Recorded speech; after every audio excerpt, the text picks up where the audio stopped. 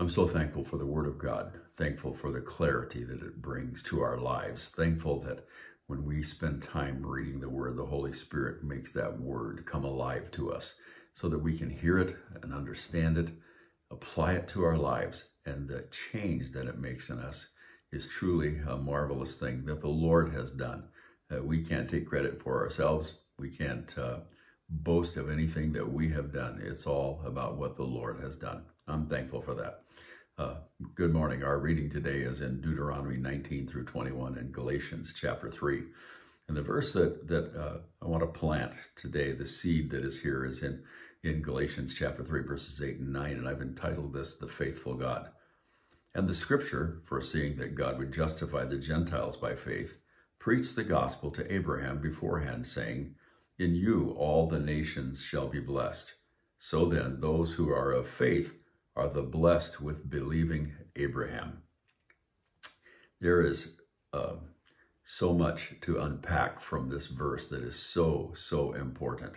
But here's the thing. This, this business of faith begins with Abraham hearing and believing the gospel. What he hears is that even the Gentiles would hear and believe. And that was spoken before there was even the designation of the Gentiles, a people called the Gentiles. But the Word of God foresaw this uh, whole scenario. Uh, and uh, Abraham called was called the father of faith as a result of this. Uh, he was saved by faith just like we are saved by faith the result is that those who are of faith, that is, those who have believed the gospel, are the children of promise, or we could say the children of Abraham.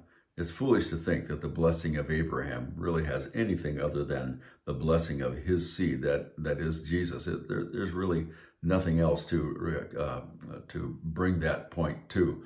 Uh, it's, it is through his finished work on the cross that the blessing of Abraham comes to the one who puts his faith in Christ. The curse that is removed is the curse of death and separation, not the consumption of one's health and wealth. It's utter nonsense and completely poor practice to read into this passage a doctrine that the scripture really does not support in any way, shape, or fashion.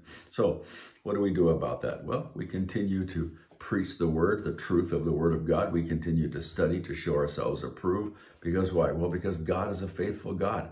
His word is true, and we can hold on to his word. It's so important that we do that, especially in the days that we are living in. And, you know, that may sound like a broken record. That sounds like something I say all the time, but doesn't change the truth of it. It's still true. Do we need to be reminded of that? Well, of course we do.